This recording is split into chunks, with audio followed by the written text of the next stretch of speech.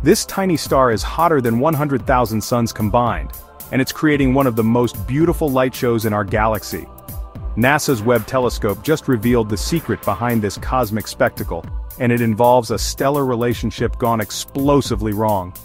Meet NGC 1514, where a white dwarf star reaching a blistering 110,000 Kelvin, that's 20 times hotter than our sun's surface, is literally shedding its outer layers, while its companion star watches the meltdown.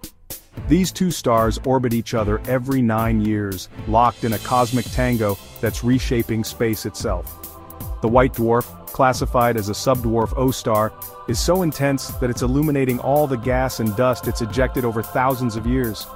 Imagine standing on a planet near this binary system, you'd witness two suns dancing around each other while surrounded by glowing cosmic clouds. Would you want to visit this system if you could?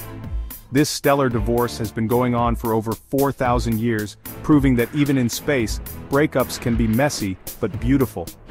Hit like if you think space deserves more relationship drama, and comment what cosmic phenomenon you want to see next.